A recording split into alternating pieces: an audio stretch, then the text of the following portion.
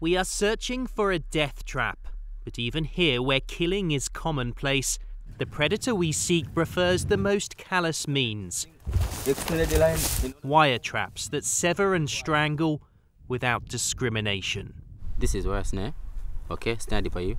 Poacher, imagine that uh, wildebeest come for grazing grass. Enter in the head, one step, just uh, snared. These are the snare hunters, untangling the traps even as the poachers watch them. The people, okay, on the hills, they have already hiding themselves. They do it to stop this wildebeest, giraffe, and even hyenas butchered for bushmeat. Ronald was once a poacher himself. He quit for conservation, but he says others won't.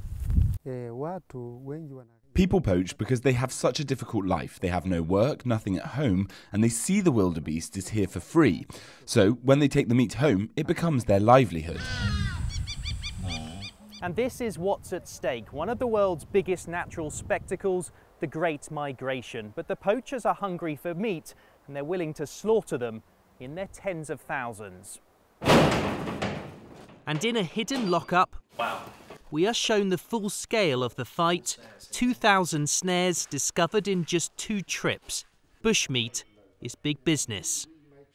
And the blue cloth represents the mark of the killer. It's his way of saying, This is my catch, this is my money, and tells us these guys are organized. They will put maybe a kilometer long snare line up, and uh, each person has got his snares that he puts up, it belongs to him, and what is captured in that snare, that profit comes to him. Their NGO and Tanzania National Parks are keeping the poachers at bay. They spot them from the sky and ambush them in dawn raids. But they say an environmental challenge might still pose a threat.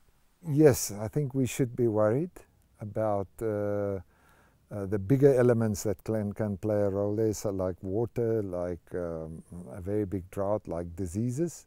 But we should keep the pressure up in doing what we're doing now uh, Uh, to conserve the migration.